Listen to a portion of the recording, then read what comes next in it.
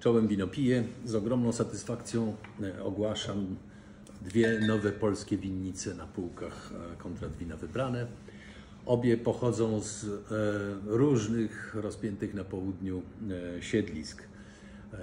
Na wschodzie winnica Półtorak, oparta już o Bieszczady w okolicach Krosna na 10 hektarach lokalizuje swoje uprawy różnych i białych, i czerwonych.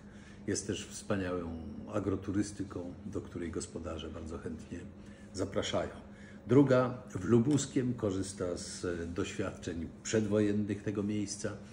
E, winnica Ekwus, czyli koń, bowiem gospodarze tej winnicy lubują się i w winach, i w koniach.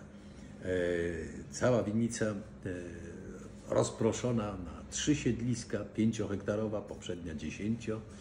E, oferuje e, wina różne, w tym wino szampańskie, które e, u nas na naszych półkach jest wizytówką tego miejsca.